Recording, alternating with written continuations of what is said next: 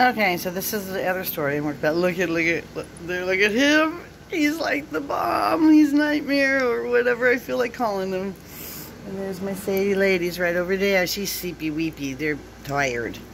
Okay, here's my um my new story called uh I was gonna call it Shades of Green, but I'm not. This is the lighter shade of green, and this is all going to be about the Indian mythology um, from India.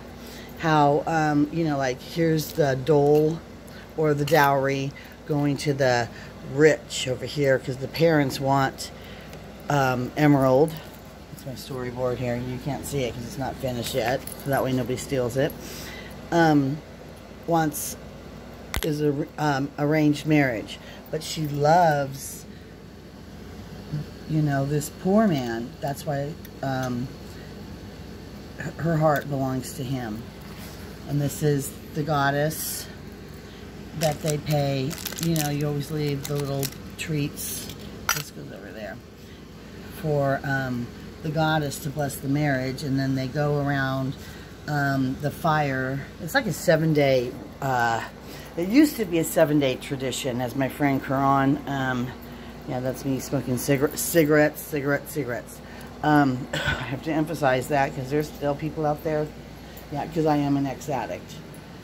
Um, anyways, um, um, so Karan told me about this um, wedding, and then I have a friend Raj over um, next door who's from India too. He just moved here in October, which happens to be a coinky dinky. No, I think not. Anyway, so this is the story I'm working on one of them. And this is what I got last night. So I'm going to put this one away and put the other storyboard up. Um, but I'm, I'm still writing this story, if that makes sense. The story's like in the process. I only have that much confusion going on. Yeah, I work best in confusion. Being dyslexic or whatever they want to label me with. Yeah. But anyway, so this is the fire. I gotta make the fire a little more fiery. And the crackle. You know, I got sound effects going on. Yeah. And then I'm gonna make for Armageddon, um, I'm going to make little bombs out of these. Okay, these are pipe filters. Like, this is a real firecracker in here. I keep it in the baggie so I know it's a real one. And I'll put it in my mouth and like, like, I have a habit of doing that. So anyways, I'm going to make, I'm going to make the fake ones. You see, these are bigger. And that's going to be for Armageddon. And that's other stuff I'm working on. And, but prop thing and, you know, my cigarettes and my coffee and my, my green drink, my superfood. Um, yeah, I'm hoping that that company comes back up, Success by Health, so I can start um,